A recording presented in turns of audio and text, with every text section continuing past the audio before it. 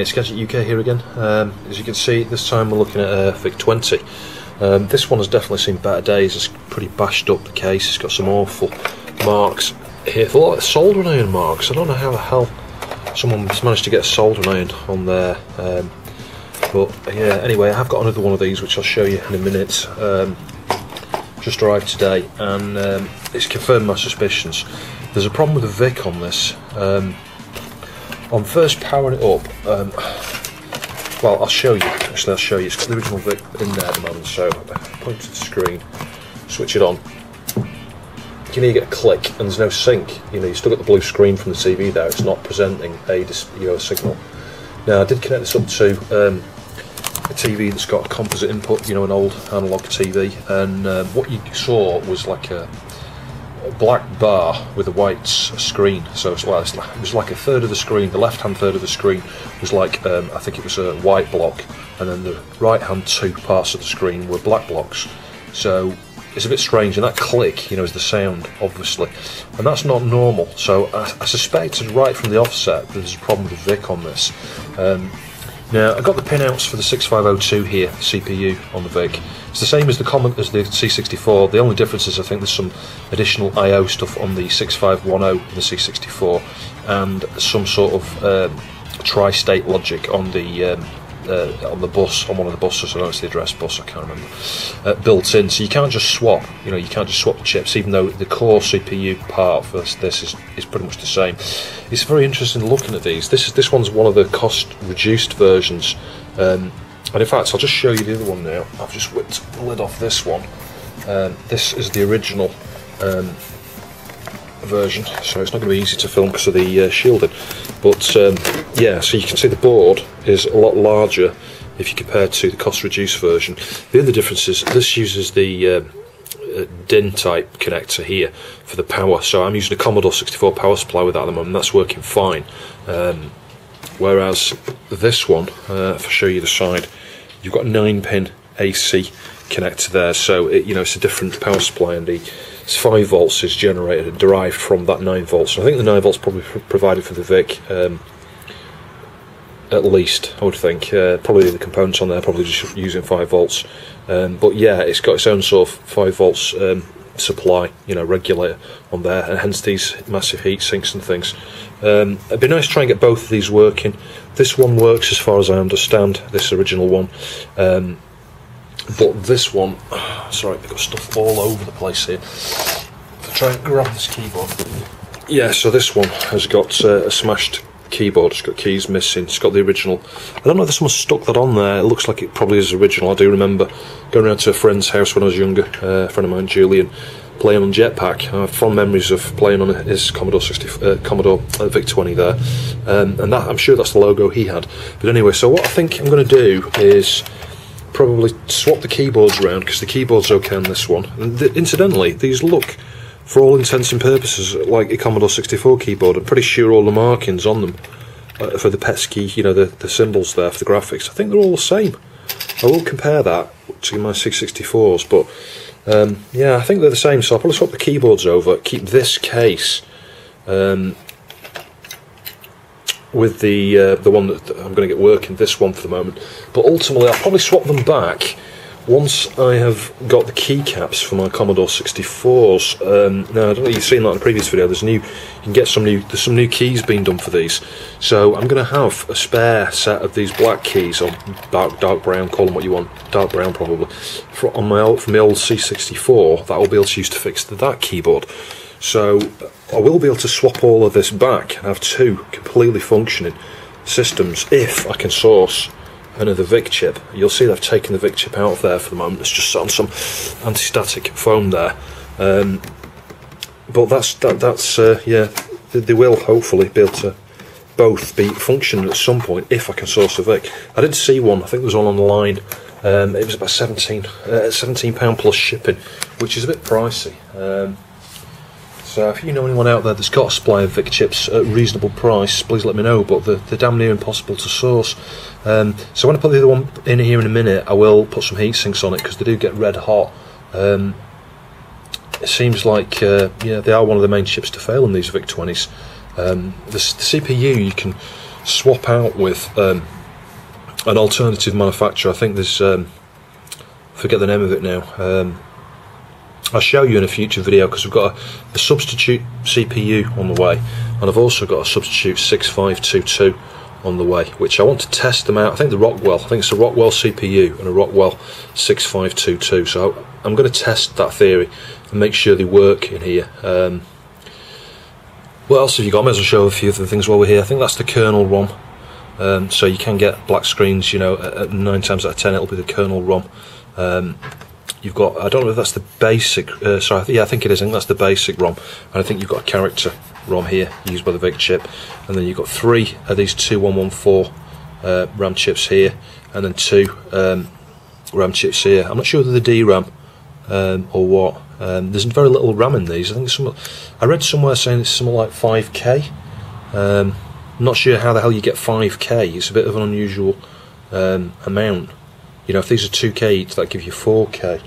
Um, I don't know. I need to. Uh, don't quote me. I need to check first. I've not really looked much into the, the specifications of these, um, but it's very similar in layout to the Commodore 64. Um, you know, you've got the 6522s here. You know, in the C64, you've got the 6526s, which sit in the same place right next to the keyboard connector.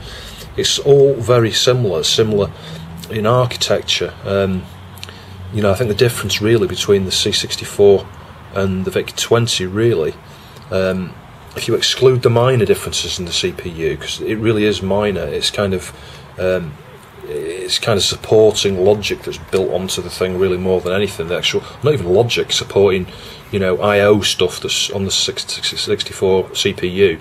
So if you just discount that as a difference, then you, you're left with really the VIC.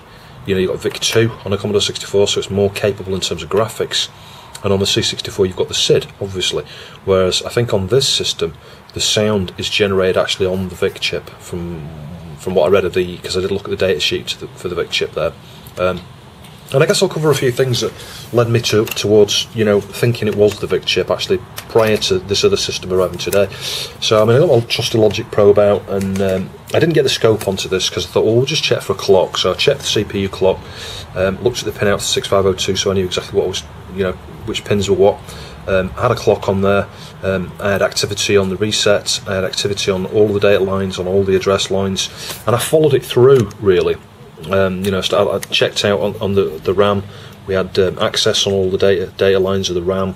Um, I could see chip selects and things on, on the uh, basic and the uh, kernel.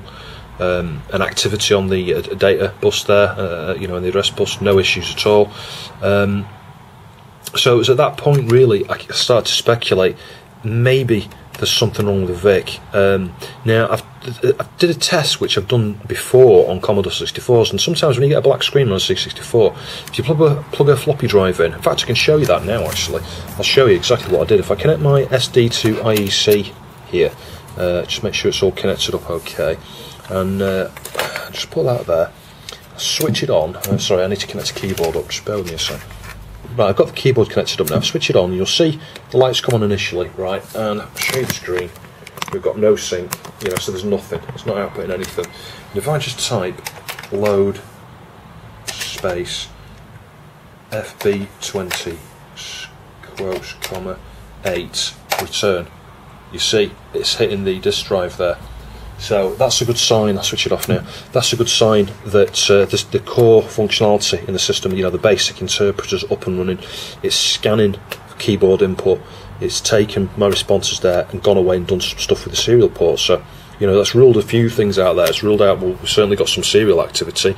We've certainly got basic up. We've certainly got it actually, you know, accessing commands. The RAM must be okay to a degree um, etc. So the fact we're getting no no display, and if you leave it on for a minute or two, it does get quite warm. That um, warmer, certainly warmer than um, you know the the one that works. So that was the indication to me. Yeah, I need a Vic chip for this, unfortunately. And then in the last hour, the um, the other uh, Vic 20s arrived, and just first thing I've done is just take the Vic out, stick it in here, and it works, uh, which I'll show you now actually.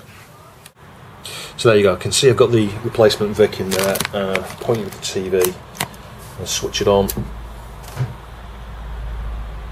You'll see it's, uh, it's working fine.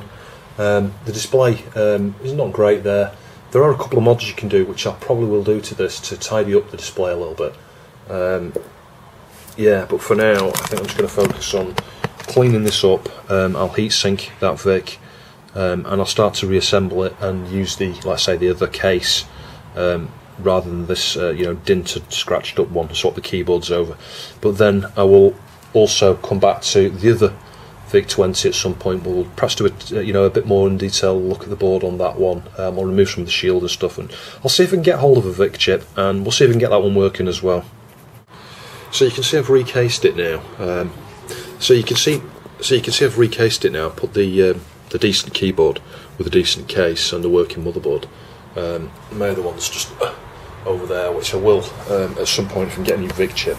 I'll get that up and running as well. I'm not sure I'm going to do with the case because the case is quite damaged and I do need a couple of keys for that as well. But uh, anyway, I'll show you on the screen here.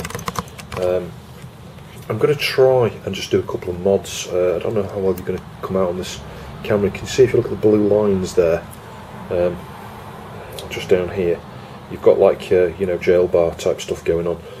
So here you go. You can see the mods I've done now. Um, I've got an electrolytic cap here, um, smoothing the um, the VCC to the VIC chip here. Um, so it goes between pin uh, 40 and pin 20, I think.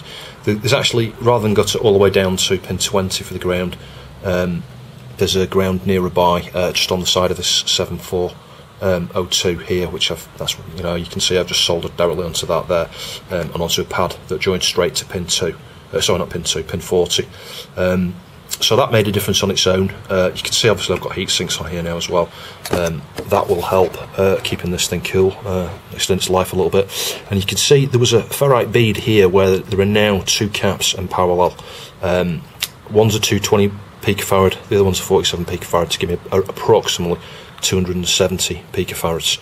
Um, and then the induct, the, the actual ferrite bead that was there um, you remove that obviously, um, and then from the out the, the side here, sorry, if the screwdriver, from this side here, where it joins the cap that goes to the output sort of stage, if you like. Um, at this, the point on this side of the cap, you what you're supposed to do is stick an, a, a, connection from an inductor, something like a I don't know, I think it's between 10 microhenries and 15, 50 microhenries uh, to ground through that inductor. Now I tried that with various different inductor sizes there, and I was getting like um, ghosted really, really badly, like a shadow. Um, so I thought, well, let's just try it with the, just the, the inductor that I removed the ferrite bead. And I tried that, and it's perfect. I'll show you. Um, I haven't done anything with the colour biasing. Um, well, I did try, um, and uh, yeah, it, for me, I don't actually need it. I think the colours are fine. Um, whether it's just the way this TV handles it or not, I don't know. But I don't know if you can see there now. We've, um, you know, you can see the, the lines, the little jail bar lines, a little bit on the white background, just a little bit. But on, if you look at the blue background, you know, compared to as it was before, there's nothing. There's no um, jail bars there at all. So I'll load a game now, just so you can see what it looks like. So there you go. See Gridrunner's up and running now. Um, picture's really good. Uh, I'm really pleased with it. Not sure if it could be better. Maybe I do need to do the colour biasing um, mod. I'm not sure. I might revisit that at a later date. I need to get a, a 47k port, I think, before I try that.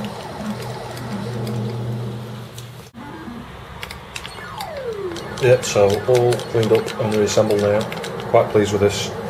Um, the games are pretty basic. Um, but yeah, you can get you know some of the, the more complicated games uh, are better. Uh, they use more of the RAM and stuff. Um, I plan to be playing things like Jetpac and Dig Dug and stuff on this. Um, I've ordered uh, an expansion actually for the uh, RAM port at the back that gives us up to 32k, and you can configure the uh, banks there with dip switches and stuff. I'll show that in a later video. That's quite interesting stuff, I guess. Um, one of the other things to point out here is obviously I've been using my SD2IEC. So uh, serial, you know, floppy drives will work on these. If you've got one for your Commodore 64, you could actually use the um, 1541 Ultimate, but not the cartridge part of it. So what I mean by that is you plug the cartridge into your C64, boot your C64 up, select a tape image um, or a D64 image, you know, a disk image. Um, but then connect the serial cable comes out of the 1541 Ultimate into this so I might try that at some point uh, in order to be able to get access to some of the tapes and things that I can't currently do using the SD2IEC. Um, any of the programs that have, you know, uh, games that have been sort of um, where it's just a PRG file, those will work. You can load PRGs off here and you can load D64 images as well, but there's not that many games on um, the D64 formats. So I made a final adjustment here to the colour pot, um, and as you can see, the colours are perfect now. Um, the little blobs are supposed to be yellow, and the enemies are supposed to be blue, and there's no ghosting on the text. If you look at the grid run at the top, um, I'll zoom a little bit closer so you can see more detail. Um, gotta wait for it, there you go. Yeah, and you can see the little ship is green, so there's no issues there. Anyway, I thought you found it interesting. Thanks for watching. I'll see you soon.